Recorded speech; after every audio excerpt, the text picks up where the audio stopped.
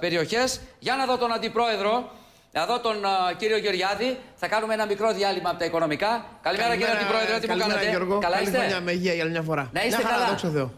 Μαθαίνω, αγαπητέ κύριε Γεωργιάδη, ότι ο αξιότιμος πρόεδρος της Νέας Δημοκρατίας, ο κύριος Μητσοτάκης, ετοιμάζεται για ταξίδι στη Γερμανία, όπου θα συναντήσει την κυρία Μέρκελ και ε, τον κύριο Σόιμπλε, αμέσως μετά στη Γαλλία, διότι εξ όσων φαίνεται ο Φιγιόν θα είναι ο νέος πρόεδρος της ε, Γαλλίας, προηγείται στις ε, μετρήσεις και αρχίζει και χτίζει σιγά σιγά, όπως λένε πολιτικοί παρατηρητές, ο κύριος Μητσοτάκης, τις δυνάμεις εκείνες οι οποίες ενδεχομένως θα βοηθήσουν την Ελλάδα σε μια ε, άλλη εποχή, αυτή την οποία σκέφτεστε, εν πάση περιπτώσει, όπως σκέφτεται ο καθένας. Ισχύει αυτό το ταξίδι; Ε, μάλιστα μαθαίνω και το διάβασα στην έγκριτη εφημερίδα την ημερησία ότι ετοιμάζει και ένα φάκελο με οικονομικά στοιχεία ο κύριος Μητσοτάκης προκειμένου να δείξει το οικονομικό πρόγραμμα της Νέας Δημοκρατίας σε μια α, στιγμή που ενδεχομένως προκύψουν ξαφνικές εξελίξεις. Ισχύουν όλα αυτά κύριε ε, Γεωργιάδη; Αγαπητέ Γιώργο, την Τρίτη Ναι. συμπληρούνται ένας χρόνος από την ανάληψη της ηγεσίας Νέας Δημοκρατίας από τον κύριο Κυριάκο Μητσοτάκη. Και πρέπει να σου πω ότι για μας, για όλους εμάς που ακολουθήσαμε τον Κυριάκο και συμμετέχουμε εδώ και ένα χρόνο στην προσπάθεια αναδιοργάνωση Νέας Δημοκρατίας, αυτός ήταν ένας χρόνος με πολύ μεγάλη προσπάθεια, με πολύ μεγάλο κόπο, αλλά που έχει αρχίσει να αποδίδει καρπούς. Η Νέα Δημοκρατία σήμερα είναι σφιχτή σαν γροθιά, Έχουμε, πιστεύω, δώσει σε πάρα πολλούς συμπολίτες μας την αίσθηση και δικαίως ότι έχουμε αποφασίσει να κάνουμε αυτά που χρειάζεται η χώρα για να γίνει η ζωή των ανθρώπων καλύτερη. Και στα πλαίσια αυτά, βεβαίως, ο Κυριάκος Μητσοτάκης πρέπει να βλέπει και τους σπουδαίους ξένους ηγέτες. Πρέπει εγώ να πω ότι στην ε, καγκελάριο Μέρκελ Ναι. ο κ. Μητσοτάκης θα πάει πράγματι στις 13 Φεβρουαρίου. Ο βασικός του στόχος είναι να εξηγήσει στην κυρία Μέρκελ ότι ο ελληνικός λαός δεν αντέχει άλλο αυτή την οικονομική πολιτική. Ότι ο ελληνικός λαός δεν αντέχει άλλα αυτά τα βάρη και ότι πρέπει και οι δανειστές μας Ναι. να κάνουν το δικό τους μερίδιο Έχει σχέδιο από δηλαδή. αυτά που έχουν υποσχεθεί. Έχει ένα σχέδιο οικονομικό. Ένα πλήρη Κυριάκος φάκελο λέει θα Μητσοτάκης- παρουσιάσει και στο Σόιμπλε και στη Ο Μέρκελ. Κυριάκος Μητσοτάκης Ναι. σε, με όλους τους ξένους ηγέτες που μιλάει και προφανώς και με την κυρία Μέρκελ θέλει να εξηγήσει ότι αυτοί οι φόροι που έχουν επιβληθεί στην Ελλάδα δεν βγαίνουν και πρέπει να δοθεί στην Ελλάδα η ευκαιρία να πάρει μπρος η οικονομία της. Και με αυτούς τους φόρους, Γιώργο, αυτοί αυτούς που λέγατε προηγουμένως και λέτε στην εκπομπή σου συνέχεια, η ελληνική οικονομία δεν έχει καμία ελπίδα. Πάμε καρέ, και καρέ. αυτό πρέπει να το καταλάβει και η κυρία Μέρκελ. Πάμε καρέ καρέ. Α, το επόμενο θα είναι. Δεν ξέρω αν έχει κλείσει το ραντεβού ακόμα. Με τον υποψήφιο πρόεδρο της Γαλλίας, το Φιγιόν, θα δει και ο Λαντ, μαθαίνω. Ώστε ε, κατά την άποψη του κυρίου Μητσοτάκη, είτε ο Λαντ είτε Φιγιόν, η Γαλλία είναι μία και σπουδαία δύναμη η οποία μπορεί να βοηθήσει την Ελλάδα όπως κάνει και τώρα ο Λαντ με τον Τζίπρα, Παρα- έτσι. Παραδοσιακά ο κ. Μητσοτάκη Ναι. έχει πολύ καλές σχέσεις με την ηγεσία της Γαλλικής Δημοκρατίας. Ναι. Και βεβαίως τώρα θα του δοθεί η ευκαιρία, δεν είναι προγραμματισμένο ταξίδι, αλλά Μάλιστα. θα γίνει το αμέσως επόμενο διάστημα, Ναι. να γνωρίσει και τον υποψήφιο της κεντροδεξιά, τον Φρανσουά Φιγιόν, για τον οποίο πιστεύουμε ότι θα είναι και ο επόμενος πρόεδρος τη Γαλλίας. Και- Αυτό δεν θα το αποφασίσει ο γαλλικός λαός. Ακριβώς. Τώρα, πάμε καρέ καρέ. Κύριε Γεωργιάδη, θέλω να πείτε το εξής. Αυτή την ώρα ο ελληνικός λαός δεν βασανίζεται απλώς. Έχει ισοπεδωθεί από μια άγρια λιτότητα. Πριν από δύο μήνες είχα ακούσει τον κύριο Μητσοτάκη να λέει ή στο ΣΕΒ το είπε ή στον τουρισμό, κάπου το είπε σε ένα μεγάλο συνέδριο. Ακούστε να δείτε. Θα πρέπει να καταλάβουν και οι δανειστές ότι το πλεόνασμα του 3,5 δεν βγαίνει, πρέπει να πέσουν οι δείκτες των πλεονασμάτων για να μπορέσει η χώρα με την ανάπτυξη να βγει μπρος. Είναι το πρώτο στοιχείο οικονομικής πολιτικής στο οποίο θα επιμείνει ο αρχηγός της Νέας Δημοκρατίας και αρχηγός της αξιωματικής αντιπολίτευσης. Πράγματι, στο ΣΕΒ το είχε πει Γιώργο Στο Αυτιά, ΣΕΒ το είπε, μάλιστα. Όπου είπε ότι ο, ο εφικτός για την ελληνική οικονομία στόχος είναι το 2% Ναι. πρωτογενές πλεόνασμα και όχι το 3,5% που δυστυχώς φαίνεται να έχει αποδεχθεί η κυβέρνηση Τσίπρα. Το 3,5% πρωτογενές πλεόνασμα, για να καταλάβω ακόμα τι θα πει αυτό, γιατί δεν καταλαβαίνει. ο Έξι κόσμος, δις το Γιώργο. χρόνο παραπάνω. Να το καταλάβουμε. Το 16 που λέμε ότι είχαμε υπεραπόδοση εσόδων και πήγαμε πάρα πολύ καλά, θα φτάσουμε από ό,τι φαίνεται περίπου στο 1,1. Φαντασ- Φαντάζεστε την απόσταση σε μέτρα από το 1,1 μέχρι το 3,5. Αυτό έχει δεχτεί ο Τσίπρας το 3,5. Ε, ο Κυριάκος Μητσοτάκης θέλει να βοηθήσει την εθνική προσπάθεια και να εξηγήσει και στους δανειστές μας ότι αυτό που μας ζητάνε είναι ανέφικτο και καταδικάζει τον ελληνικό λαό σε βαριά λιτότητα για πάρα πολλά χρόνια. Είναι δύσκολο το έργο, έτσι. Λαός, είναι δύσκολο λαός, το έργο αυτό. Είναι δύσκολο. Είναι δύσκολο Όμως γιατί πρέπει να πεις και το Σόιμπλε. Ναι. είναι για τα δύσκολα. Όταν κατέβηκε και αρχηγός ο Κυριάκος Γιώργο μου, εδώ ήσουν και εδώ ήμουνα, πριν από 1,5 χρόνο, κανείς δεν πίστευε ότι ο Κυριάκος θα είναι ο πρόεδρος Νέας Δημοκρατίας. Όμως βγήκε πρόεδρος Νέας Δημοκρατίας. Αν σου λέει, έλεγα πριν από 1,5 χρόνο που η Νέα Δημοκρατία είχε χάσει τις εκλογές με μείον 7,5 μονάδες, ότι θα προηγείται στις δημοσκοπήσεις ένα χρόνο από 8 μέχρι 18, θα με πίστευες; Δεν θα με πίστευες. Το έκανε και αυτό. Άσε ε, σου λέω λοιπόν τώρα, ναι. σου λέω λοιπόν τώρα ότι ναι είναι δύσκολο, αλλά γι' αυτό ζητάμε εκλογές. Γι' αυτό θέλουμε να αναλάβει την ηγεσία ο κύριος Μητσοτάκης, γιατί πιστεύουμε ότι ο Κυριάκος Μητσοτάκης θα πετύχει Πάμε, καρέ, καρέ. αυτό που δεν μπορεί να πετύχει ο Τσίπρας. Πάμε καρέ καρέ. Έχουμε αυτή την ώρα έναν έμφυα. Δεν υπάρχει χειρότερος φόρος από αυτόν. Όχι χειρότερος ως προς την επιβολή του, ως προς τον τρόπο που μπαίνει. Γιατί διπλώνει, εδώ έγκριτη ε, νομική, να, να σας εξηγήσει κάποια στιγμή στη Νέα Δημοκρατία η κυρία Νικολοπούλου. Που, άκου να σου πω, επειδή τον εβάλατε άγαρμα αυτό το φόρο, άγαρμα τον εβάλατε, εκείνη τη μέρα σου είπα, και συγγνώμη για τον ενικό, θα χάσετε από τον ένθια. Και μου είπες Γιώργο, δεν χάνουμε από τον ένθια. Και σου λέω, θα χάσετε από τον ένθια. Φωνάξτε μια μέρα την Νικολοπούλου στη Νέα Δημοκρατία να σα εξηγήσει πού διπλώνει ο φόρος και τι, τι προβλήματα δημιουργεί. Ο ξέρει το θέμα των για να ξέρει ο κόσμος. Λέω λοιπόν το εξής. Είχε μπει ως ένφα. Λέω, δεν λοιπόν... δίπλωνε. Το δίπλωμα έγινε μετά για να, εξε... για να εξαιρεθούν οι αγροτικές γέες. Λοιπόν, έτσι έγινε. Έτσι. Ρωτώ, ο Κυριάκος ο Μητσοτάκης από ποια στιγμή και μετά θα πει Έλληνες, εγώ σας μειώνω 30% τον έμφυα. Έχει δεσμευθεί ο πρόεδρος Νέας Δημοκρατίας ναι. ότι μέσα στην πρώτη διετία θα έχει μειωθεί ο ένφια 30%. 20% τον πρώτο χρόνο και 10% τον δεύτερο χρόνο. Αυτό είναι δέσμευση. Για όλους. Και στην...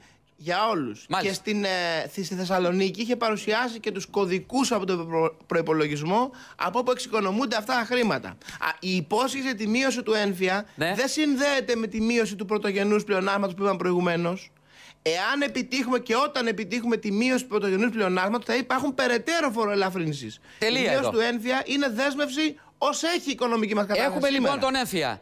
Και υπάρχει αυτή η δέσμευση για μείωση του ένφια 30%. Πάμε στο δεύτερο.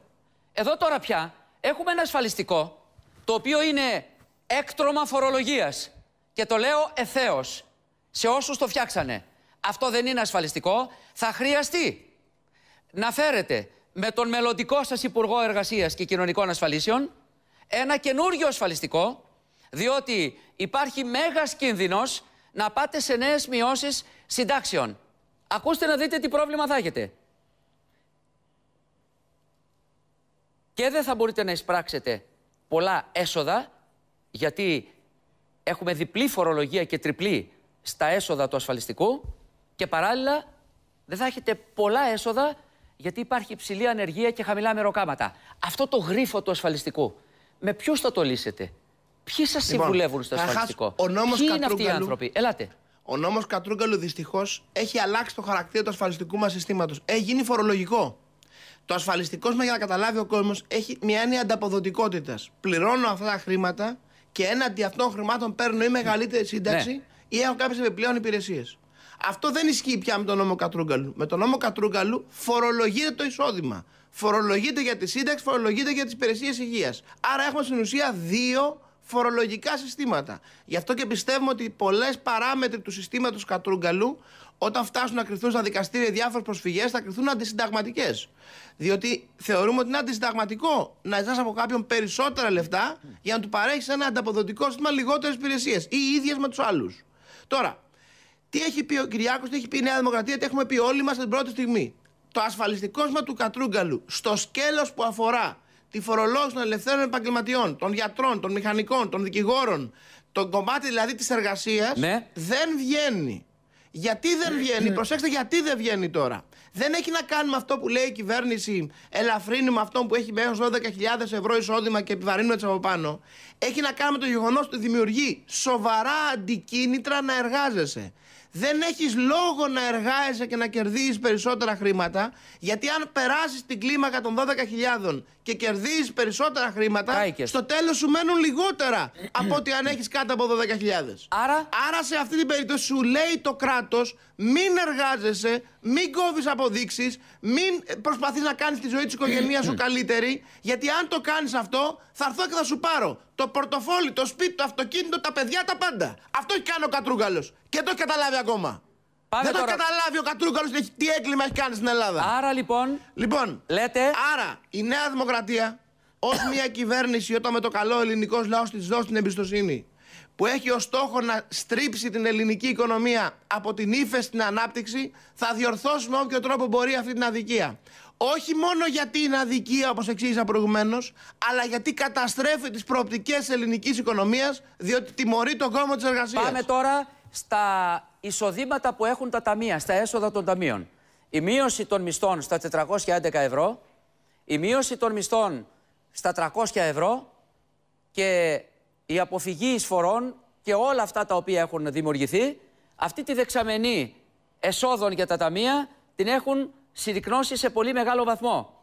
Ποιες Αυτό θα που είναι οι έχει- προποθέσει, ακούστε κύριε Γεωργιάδη, οι συντάξεις για να μείνουν στο ίδιο σημείο, ο Θεός να κατέβει κάτω, χίλιες προσευχές να κάνει στο Θεό, στον Ποσειδώνα, στον Απόλλωνα, δεν ξέρω σε ποιον, ε, συντάξεις θα μειώσεις. Και να το ξέρεις αυτό. Ξέρεις πότε δεν θα τις μειώσεις, άμα δώσεις δουλειές και γεμίσει η δεξαμενή των ταμείων από έσοδα, από εργασία. Πώς θα την ανοίξετε, μωρέ, τη δουλειά, πώς θα ανοίξετε τις δουλειές; Να, να, να έχουν έσοδα τα ταμεία για να μην μειώσουν τις Γιώργο συντάξει. μου, όταν Δείξτε παρα- μας τον τρόπο. Όταν παραδώσαμε την εξουσία στον κύριο Τσίπρα μετά τις εκλογές του Ιανουαρίου του 2015, μαζί στους φακέλους που παρέλαβε από την προηγούμενη κυβέρνηση Σαμαρά, παρέλαβε και μία αναλογιστική μελέτη που είχε κατεθεί το Δεκέμβριο του 2014 στην Τρόικα, είχε γίνει δεκτή από την Τρόικα, από το ΕΚΟΦΗΝ και από το Διεθνές Νομισματικό Ταμείο, που έλεγε ότι το, βιώσ- το σα- ασφαλιστικό μας σύστημα ήταν βιώσιμο για τα επόμενα 60 χρόνια. Και δεν χρειάζονταν καμία περαιτέρω περικοπή στις συντάξεις, αρκεί να ακολουθούσε η ελληνική οικονομία την πορεία που είχαμε δεσμευτεί να ακολουθήσει, η οποία προέβλεπε για το 15 ανάπτυξη 2,7%, για το 16 ανάπτυξη 3,5% και που όπως ήρθαν τελικά τα πράγματα με το πετρέλαιο που ήταν τόσο χαμηλά και το QE που δεν είχαμε υπολογίσει, αυτά τα νούμερα ήταν και λίγα. Θα πήγαινε στο διπλάσιο ρυθμός ανάπτυξης και το 15 και το 16. Πώς δεν θα Δυστυχώς, κόψεις συντάξεις, θέλω να Θα πεις. σου απαντήσω. Την αποφράδα εκείνη η μέρα της 25η Ιανουαρίου 2015, ο ελληνικό λαό πίστεψε τον ψεύτη, πίστεψε στον πολιτικό απαταιώνα που θα του, έσ- που θα του έσβηνε τον ένφια, Λίγο- που θα του γλίτωνε τους φόρους, λίγο πιο που θα ευπρεπής, βγαίνει το παρακαλώ. μνημόνιο, που θα έδιωχνε τη Μέρκελ, που θα έκανε αυτά θα έκανε. Και τι είχε ως αποτέλεσμα; Είχε ως αποτέλεσμα αντί να έχουμε ανάπτυξη 2,7 και 3,5, να έχουμε ύφεση μείον 1 και μείον μισό. Άρα η συνταγή. να μην συνταγή, κοπούν οι λοιπόν, συντάξεις είναι τι; η Δημιουργώ συνταγή, μεροκάματα, στηρίζω το Η ασφαλιστικό, συνταγή, λοιπόν, μαζεύω λεφτά. Είναι παράγον νέε θέσεις εργασίας. Μάλιστα. Πραγματικές θέσεις εργασίας. Όχι αυτό που ε, τώρα επέρονται ότι έχουν ρίξει την ανεργία, Γιώργο. Τι λένε δηλαδή, έπεσε η ανεργία δύο μονάδες. Έπεσε, όχι. Γιατί αν δείτε την, την σύσταση των εργαζομένων, θα διαπιστώσετε ότι για πρώτη φορά επί Τσίπρα το 60% έχει μερική απασχόληση. Δηλαδή κάποιος πάει και εργάζεται τρεις ώρες την ημέρα και αυτός δεν λογίζεται άνεργος. Εσείς το μισθό, παίρνει 300 ευρώ. εσείς το μισθό θα το πάτε 731. 751 ήταν 751, η υπόσχεση ναι. του κυρίου Τσίπρα. Το είπα και την περασμένη εκπομπή. Θα το πάτε; Εμείς είχαμε ψηφίσει ένα νόμο με τον Γιάννη τον Βρούτσι που έλεγε ότι συνδέεται ο βασικός μισθός με το ΑΕΠ της χώρας. Δηλαδή, όσο αυξάνει η παραγωγικότητα της ελληνικής οικονομίας, τότε τόσο πρέπει να κερδίζουν από αυτή την αύξηση οι εργαζόμενοι. Βεβαίως, εάν το ΑΕΠ αυξάνει, με αυτή τη φιλοσοφία του συστήματος, αυξάνει και ο βασικός μισθός. Όχι αυτόματα. Έρχεται ο Κυριάκος και λέει 751 αύριο. Αυτό δεν γίνεται.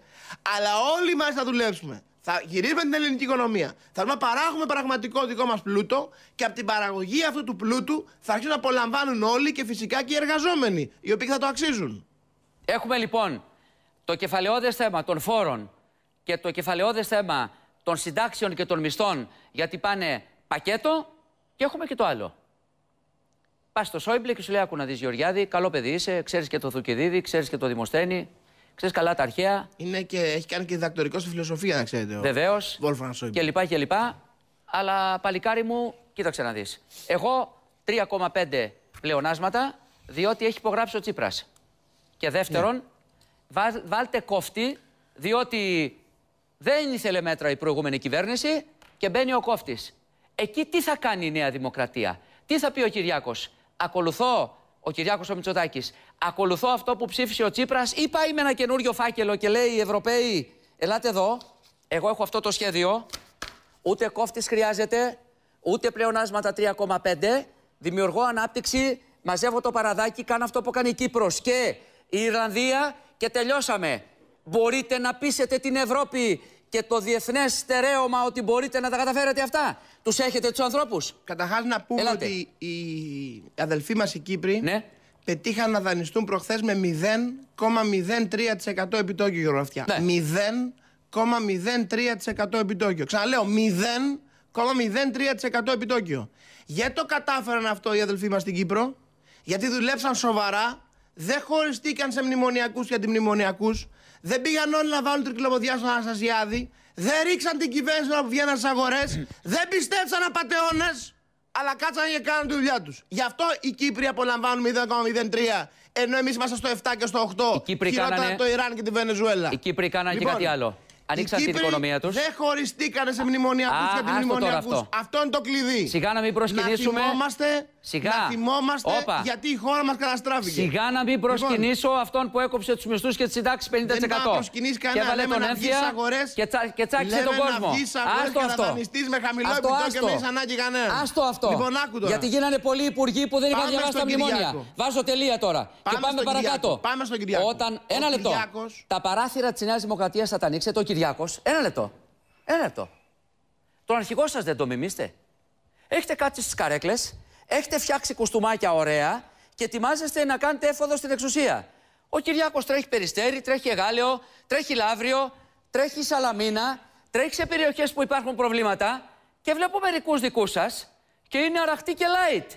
Περιμένουν να έρθει το μάνα εξ ουρανού, να να έρθει η ψήφος εξ ουρανού. Άδωνη Γεωργιάδη, για να γίνουν υπουργοί αύριο Μπορώ να- και να αρα- έχουμε τα ίδια και τα ίδια. Βαρεθήκαμε να τους βλέπουμε τους ίδιους. Αραχτούς και light δεν βλέπω εγώ στην Νέα Δημοκρατία. Εγώ βλέπω Αντιθέτως- πολλούς. Αντιθέτως, Άσε τώρα. αν φωνάξεις Άμα μια τους μέρα πεις έλα εδώ. 8 η ώρα, όπως έρχεσαι εσύ, ξέρεις, σου λένε; Να έρθω 9 και 4 γιατί κοιμάμαι το πρωί ή παραπάνω. Μου έχεις τύχει. Εντάξει. Και του Εγώ είπα μην είμαι- έρθεις είμαι- ποτέ. είμαι πιο εύκολος στο Του ξύπνημα. είπα Λοιπόν, μην έρθεις ακούστε ποτέ. λίγο. Και να σου πω και κάτι άλλο. Όταν τους λέω πάμε στην καθημερινότητα, ξέρεις τι μου λένε; Να βάλουμε και λίγο κυπριακό μέσα, να βάλουμε και λίγο ανάπτυξη. Δηλαδή φρουφρού και αρώματα. Όταν τους πας στα δύσκολα όπως σε πάω τώρα, ξέρεις τι μου λένε; Άστα ρε Γιώργο αυτά, άντε να πάμε Λοιπόν, κάπου αλλού. Λοιπόν, αξίζει- πάμε. θα αξίζει τρέξετε να όπως ο φέρεις μια Κυριάκος μέρα. στη Νέα Ένα Δημοκρατία. λεπτό. Ή Αξίζει θα το να παίξετε φέρεις μια ελίτ μέρα. πάλι. Το Λευτέ, τον Αβγενάκη, τον γραμματέα της Πολιτικής Επιτροπής, Αυτός τρέχει. να, σας, να σας αναλύσει το πρόγραμμα των βουλευτών της Νέας Δημοκρατίας και των στελεχών της Νέας Δημοκρατίας. Δεν υπάρχει Γιώργο Γαφτιά από τον Κυριακό, αυτό δεν έγινε λόγω Ναι, ναι. ψύχους. Πού; Δεν υπάρχει από τον Κυριακό που δεν είμαστε όλοι σε περιοδία. Εγώ την άλλη Κυριακή θα είμαι στην Πάτρα, όπου έχω ομιλία. Ωραία. Παραδείγματος χάρη. Πάτε σε στελέχη Λοιπόν, και μιλάτε. Μπήκατε στην κοινωνία. Ένα λεπτό. Κατεβείτε κάτω εκεί που δουλεύει ο κόσμος. Εγώ είμαι ο τελευταίος που θα Σήμερα υποδείξω. η Νέα τι θα Δημοκρατία κάνετε; είναι ανοιχτή σε όλους. Φτιάξαμε τη διαδικτυακή μας πλατφόρμα. Μπράβο. Έκαναν χιλιάδες άνθρωποι αίτηση άγνωστοι σε εμάς. Ναι. Ήρθαμε, τους είδαμε και τους βλέπουμε. Καλούμε τον κόσμο που δεν είχε ενδεχομένως καμία σχέση μέχρι σήμερα με τη δική μας παράταξη να έρθει και να μας γνωρίσει και να τον γνωρίσουμε. Δεν θέλουμε να έχει στεγανά η Νέα Δημοκρατία. Αυτό είναι το καινούριο που έφερε ο Κυριάκο Μητσοτάκης στην οργάνωση του δικού μας κόμματος. Θέλουμε τη Νέα Δημοκρατία να αγκαλιάσει όλους τους Έλληνες. Δεν θέλουμε τη Νέα Δημοκρατία να αναφέρεται μόνο σε μερικούς. Θέλουμε η παράταξή μας να αναφέρεται σε όλους εκείνους τους Έλληνες, ασχέτως κομματικής ή πολιτικής προέλευσης, οι οποίοι θέλουν επιτέλους να μπει ένα τέλος στο φαύλο κύκλο που βρισκόμαστε και θέλουν επιτέλους να απολαύσουμε και στην πατρίδα μας ένα καλύτερο μέλλον για τα παιδιά μας. Ξέρεις Και τι- πράγματι γι' αυτό, Γιώργο μου, Ναι. είμαστε δοσμένοι ψυχήτα και σώματι για να το κάνουμε. Επίσης- Θέλουμε να το κάνουμε και θα το κάνουμε, Γιώργο Αυτιά. Λοιπόν, εγώ τα κρατώ όλα αυτά. Να τα κρατήσεις και να Ε, κρατήσει το βίντεο. Τα κρατώ, γιατί τα κρατώ; Τα κρατώ και στο μυαλό μου. Ξέρεις πάρα πολύ καλά ότι όταν ένας δημοσιογράφος έχει πάρει μια απόφαση να είναι στην κοινωνία, απέναντί του έχει τους πάντες. Δεν μπορώ όμως να πω ότι δεν έχει κάνει προσπάθειες ο Κυριάκος ο Μητσοτάκης και αν κάνανε την ίδια προσπάθεια στο 1 δέκατο όλοι οι υπόλοιποι κάτω από αυτόν, τα πράγματα θα ήταν διαφορετικά. Ξέρεις γιατί; Γιατί πολλοί έχετε σηκώσει τη μύτη ψηλά, εξαιρίσε, πολλοί το βλέπουν αφιψηλού και κάτι άλλο. Ξέρεις γιατί ήρθαν πολλοί να γραφτούν ω στελέχη; Γιατί βλέπουν 10 μονάδες διαφορά και σου λέει όλα μια θεσούλα θα πάρουμε. Προσέξτε καλά. Οι θεσούλες τι θα κάνετε οι θεσούλες και στην πώς θα κυβέρνηση του χειριστείτε τα Κυριάκου πράγματα. Μητσοτάκη δεν θα είναι όπως νομίζετε και από το παρελθόν. Είδα χθες το πρώτο θέμα, αυτό το ρεπορτάζ για τους διορισμούς στο δημόσιο που κάνει ο Τσίπρας. Και ομολογώ έφρυξα. Πάντα πίστευα ότι ο Τσίπρα εκπροσωπεί το παλιό και όχι το νέο όπως διαφημίστηκε. Αλλά εδώ αποδεικνύεται ότι εκπροσωπεί το παμπάλαιο. Εμείς δεν θα ξανακάνουμε ποτέ τα σφάλματα του παρελθόντος. Φυσικά τα είχαμε κάνει και εμείς στο παρελθόν. Καμία αντίρρηση και ζητούμε συγγνώμη γι' αυτό. Όμως με αυτά η Ελλάδα καταστράφηκε. Δεν μπορούμε να φτιάξουμε ξανά μια Ελλάδα αναξιοκρατίας. Εγώ θλίβομαι, Γεώργο, αυτιά. Όταν ακούω ότι νομιμοποιούνται συμβασιούχοι και σκέφτομαι τα χιλιάδες νέα παιδιά που περιμένουν να γίνουν προσλήψεις μέσω ΑΣΕΠ, που έχουν πάρει πτυχία διδακτορικά, μάστερ, που δουλεύουν και προσπαθούν να, να αποκτήσουν και αυτοί μια θέση στην αγορά εργασίας και που έρχονται πάντα όσοι έχουν μπάρμπα στην κορώνη και όσοι έχουν φίλο σε ένα κόμμα στο ΣΥΡΙΖΑ, στον Κουρουμπλή, δεν ξέρω σε ποιον άλλον. Λέω ότι διάβασα το δημοσίευμα, το διέψευσε ο κ. Κουρουμπλή, αλλά το αναφέρω το δημοσίευμα. Ναι. Και αυτοί μονίμως καταλαμβάνουν τις θέσεις. Αυτούς, αυτούς, απάντησε ο κύριος Κουρμπλής, αυτούς που διορίζει ο Τσίπρας θα τους διώξετε; Τι εννοείς να διώξουμε, ποιους να διώξουμε; Αυτούς που διορίζει Τους τώρα ο συμβασιούχους. ΣΥΡΙΖΑ θα τους Οι κρατήσετε. συμβασιούχοι οι οποίοι διορίζονται με νόμο είναι παράνομοι ο διορισμός του. Είναι αντισταματικός. Είναι, πρέπει να ξέρουν οι άνθρωποι ότι ο Τσίπρας τους κοροϊδεύει. Είδα και το βίντεο. Γιώργο Αθιά, είδες το βίντεο στο Θεσσαλονίκη; Αυτό βίντεο παίξτε. Που πλησιάζουν κάποιοι συμβασιούχοι τον Τσίπρα και του λένε ε, Πρόεδρε μας συμβασιούχοι δεν έχουμε νομιμοποιηθεί. Λέει Μα κάναμε τροπολογία. Λέει Εμάς δεν μας πιάνει. Ε, θα κάνουμε κι άλλοι, λέει ο Τσίπρας. Το άκουσα αυτό; Λέει το σύνταγμα της χώρας που απαγορεύει τη μονιμοποίηση των συμβασιούχων, το έχει ο Τσίπρας γραμμένο στα παλιά τα παπούτσια. Ρε, ελάτε εδώ να με ψηφίσετε, τους λέει, και ας μείνουν οι άλλοι απ' έξω και ας περιμένουν να σε 50 χρόνια. Εγώ θέλω εσείς να με ψηφίσετε και οι άλλοι ας μην έχουν πια το φαΐ να φάνε. Αυτός είναι ο Τσίπρας. Το πιο παλιό που υπάρχει. Το παπάλαιο. Εσείς βλέπετε ένα νέο παιδάκι συμπαθητικό στη φάτσα και ο άνθρωπος είναι αρχιρουσφετάκια. Ο μαυρογιαλούρος του 60 είναι ο Τσίπρα. Να σε ρωτήσω κάτι. Όλη την ημέρα ρουσφέτια κάνουνε. Να σε ρωτήσω κάτι. Ένας δυσαρεστημένος από το ΣΥΡΙΖΑ, όταν σε ακούει τώρα, έχεις τη γνώμη ότι θα έρθει στη Νέα Δημοκρατία; Δεν ξέρω, εγώ θα λέω πάντα την αλήθεια, Γιώργο. Μάλλον Ε, να δεις. άλλο η αλήθεια εγώ και δεν άλλο η έχω ένταση. πολιτευτεί μέχρι Ένας ο σήμερα. οποίος- να σου πω, δεν ένας ο έχω οποίος- πολιτευτεί περίμενε μέχρι δύο σήμερα λεπτά. ποτέ στη ζωή με το τι μου Ε, φαίνεται. τώρα ψήφος. εσύ πρέπει να είσαι ενωτικός. Πολιτεύομαι Ένα λεπτό. προσπαθώντας να κάνω καλό στην πατρίδα μου. Άδωνη. Ξαναλέω. Δείτε το βίντεο που του λένε. Δεν μας πιάνει η τροπολογία. Κύριε, θα κάνουμε κι άλλοι, λέει. Μην στεναχωριέστε. Άδωνη. Και αφήνει τα παιδιά να περιμένουν να γίνει ΑΣΕΠ για να βρει το παιδί που έχει τα πτυχία και τα ποσότητα δουλειά στο Μην δημόσιος. ξεχνάς ότι είσαι σε μια παράταξη Τέτοιοι είναι. την οποία ίδρυσε ο Κωνσταντίνος Καραμαλής. Είναι ένα λαϊκό κόμμα η Νέα Δημοκρατία. Λαϊκό κόμμα. Λαϊκό κόμμα είναι για όλους. Γιατί έμαθα Όχι για τους δικούς μας. ότι Λαϊκό μας- κόμμα είναι για όλους. Έμαθα Ο ότι... λαός είναι όλοι. Έμαθα ότι μαζεύονται κάποιοι τροϊκανοί εκεί και κουβεντιάζεται τα οικονομικά στη Νέα Δημοκρατία. Προσέξτε, σας είπα, ακούστε εννοείς την κοινωνία. τροϊκανούς; Άστο, για δημοσιεύματα. Ακούστε. Τροϊκανούς τι- δεν έχω δει ποτέ στη Νέα Δημοκρατία. Ακού... ο- Καλά κάνεις και το διαψεύδεις. Αλλά θα διάβαζε Ο- δημοσιεύματα. μα ουδέποτε δεν έχω δει. Λοιπόν, ε, ακούστε την κοινωνία. Α- ακούστε τι λέει ο κόσμος. Δείτε τα προβλήματά του. Μην σταθείτε σε πολιτικά τζάκια. Τραβήξτε μπροστά. Γιατί, γιατί τα θέματα είναι τόσα πολλά που ο κόσμος δεν αντέχει άλλο. Άδωνη, δεν μπορεί να κοιμάται ο Έλληνας από βραδείς και να ξυπνάει με καινούριο φόρο. Δεν μπορεί να κοιμάται από βραδείς και την επομένη να του λένε μείωση σύνταξης. Δεν μπορεί να κοιμάται και την επομένη να ξυπνάει και η βενζίνη να έχει πάει στο, στο Θεό. Αυτά τα πραγματάκια θα προσέξετε. Και ο Σεραφείμ ο Φιντανίδης, ο συγχωρεμένος έλεγε μια καλή τηλεόραση τι είναι, καλές ειδήσεις, ένα καλό ματσάκι και ένα, μια καλή, και ένα καλό έργο. Μια καλή κυβέρνηση πότε γίνεται, όταν λέει την αλήθεια, όταν λέει αυτά μπορώ να κάνω, αυτά δεν μπορώ να τα κάνω και όταν ακούει τον κόσμο. Και να ξέρετε κάτι, θα έχετε μηδέν ανοχή. Εκλογές βλέπεις για να κλείσουμε. Προσωπικά δεν πιστεύω ότι ο κύριος Τσίπρας θα φύγει από την εξουσία. Ε, η δική μου ανάγνωση των πραγμάτων είναι ότι η κυβέρνηση του κυρίου Τσίπρα θα ψηφίσει τα πάντα, ό,τι και να τους δώσει Τρόικα. Και τον κόφτη. Φοβάμαι. Και τον κόφτη. Και τον κόφτη Εσύ, δυστυχώς. εσείς θα ψηφίσετε κόφτη; Φυσικά και δεν θα το ψηφίσουμε τον κόφτη εμείς. Αυτό είναι είδηση. Ο κόφτης. Ένα ο λεπτό. κόφτης, Αυτό είναι είδηση. Μα τι είδηση είναι εδώ να ψηφίσουμε εμείς αυτά που συμφωνεί ο Τσίπρας. Ο οποίο τον πει τον πάνε χει- δεμένο χειροπόδαρα. Είδατε την επιστολή Τσακαλώ του Γιώργου Αυτιά. Έχει αισθανθεί μεγαλύτερη ξεφτύλα στη ζωή σου Έλληνας πολίτη από αυτήν την επιστολή; Αυτοί οι άνθρωποι να το θράσουν να μας λένε εμά γερμανοτσολιάδε και να λένε δεν ξέρω αν διαπραγματευόμαστε και τους έχετε ρίξει ο Σόιμπλε σε μια κόλλα χαρτί. Λοιπόν, δυστυχώς φοβάμαι ότι η αδημονία του Αλέξη Τσίπρα για την εξουσία και των βουλευτών του για να κρατήσουν τι καρέκλες τους, η οποία δυστυχώς είναι σε γνώση των δανειστών μας, και αυτό είναι το μεγάλο πρόβλημα, θα οδηγήσει την κυβέρνηση Τσίπρα για να κλείσει την αξιολόγηση να δεχθεί τα πάντα. Και επειδή οι ξένοι αυτά που σας είπα τα ξέρουν, θα τους ζητήσουν τα πάντα. Γι' αυτό και η προσωπική μου εκτίμηση είναι ότι η αξιολόγηση κάποια στιγμή θα κλείσει. Ναι. Θα κλείσει με πολύ δυσβάσταχτα μέτρα για τον ελληνικό λαό. Που εσείς θα κληθείτε να με τα πολύ εφαρμόσετε. δυσβάσταχτα μέτρα. Άρα που θα και κληθείτε που να τα εφαρμόσετε. δυστυχώς, Ναι. δυστυχώς Θα ο δεσμεύουν. Τσίπρας για άλλη μία φορά θα έχει προδώσει την εμπιστοσύνη εκείνων των πολιτών που τον ψήφισαν, οι οποίοι τον ψήφισαν για να κάνει τα ακριβώς αντίθετα. Γιατί άκουσα Γιώργο Αυτιά, η κυβέρνηση του Τσίπρα υποσδη- υποτίθεται εξελέγει για να βάλει τέλος στη λιτότητα.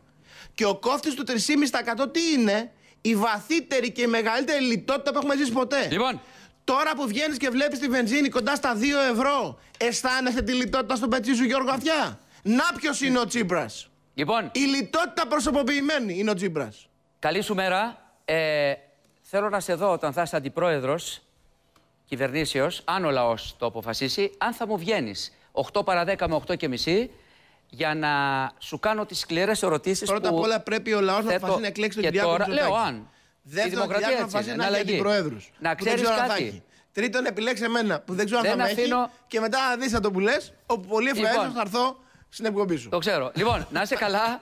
Ε, Όπως βλέπεις, κρατώ αποστάσεις από όλους, γιατί έχω ακούσει όλα αυτά τα χρόνια άπειρα πράγματα Άδωνη Γεωργιάδη και κάτι άλλο. Αυτά τα πλεονάσματα για τα οποία και εσείς, ως μπλε κυβέρνηση και ως κόκκινη ο κύριος Τσίπρας επιτυχάνει, είναι από την τσέπη του γείτονά σου, Προφανώς. των παιδιών σου, Προφανώς, προφανώς. Των δικών σου Του ελληνικού λαού ανθρώπων. είναι τα λεφτά αυτά. Ακριβώς. Πληρώνει ελληνικού λαού είναι. αρωνού Τι πρέπει. σπασμένα. Καλή σου μέρα και να είσαι καλά. Καλημέρα, 8 Γιώργο, και καλή 27 δουλειά. πρώτα λεπτά. Έτσι έχουν τα πράγματα. Κύριε Χριστόπουλε.